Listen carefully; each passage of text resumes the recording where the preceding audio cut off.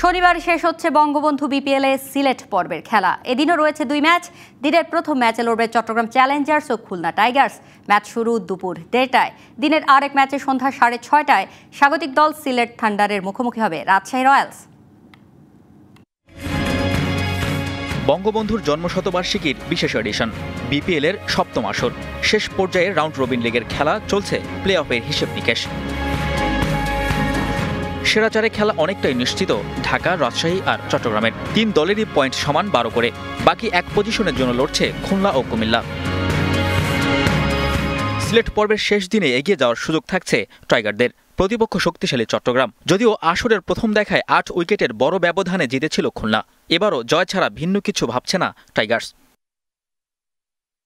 মাত্র একটা জয় চাই চট্টগ্রামের, তাহলেই প্লে অফে কোয়ালিফাই ম্যাচ বাকি আছে তিনটা। অপেক্ষা না বাড়িয়ে সিলেটেই করতে চায় সেটা। প্রথম দেখায় হারেরও প্রতিশোধ নেয়ার মিশন চাটগার দলটার। নিয়মিত অধিনায়ক মাহমুদুল্লাহ আর ইনফর্ম ইমরুল না থাকায় কিছুটা এলোমেলো চট্টগ্রাম।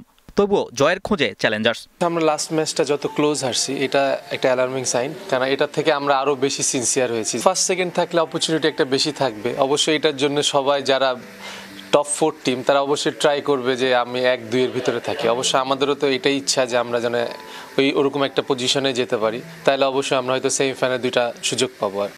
অন্যদিকে সিলেট থান্ডারের বেজেছে বিদায় ঘণ্টা।